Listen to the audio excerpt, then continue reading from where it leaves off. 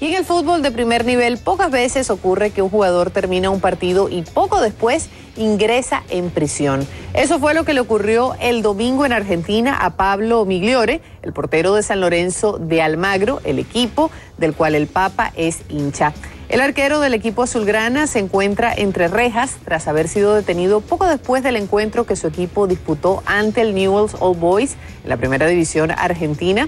A Migliori se le acusa de encubrir a un presunto homicida. Fuentes judiciales indicaron que intentan o intentan reunir pruebas que vinculen al arquero con un miembro de las barras bravas de Boca Juniors acusado de asesinato. Este último se llama Maximiliano Mazzaro.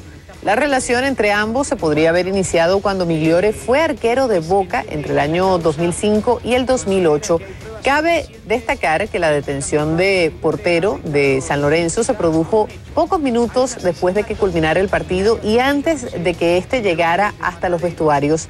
Por su parte, Mazzaro es acusado de estar vinculado al asesinato de Ernesto Cirino, ocurrido en 2011, por el cual cumple prisión preventiva.